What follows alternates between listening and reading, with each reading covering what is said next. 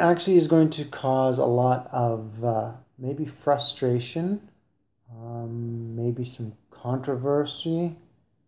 um, accusations, some critical uh, um, past tense and uh, intentions from political parties,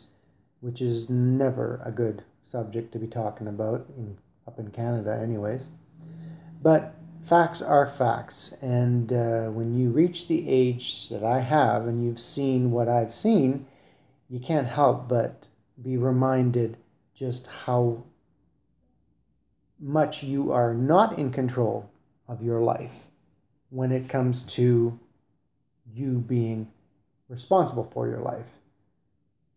Now, I didn't ask to be born into this country, but it's not about a country. It's about the planet. I was born to this planet, maybe several times already. If you do believe in reincarnation, which I strongly believe that there is some coalition with universal uh, you know, emptiness and, and continuous, you know, it doesn't end and it doesn't begin, it just exists, then that's why in, in this, I don't know, in this uh, level of uh, um, awakened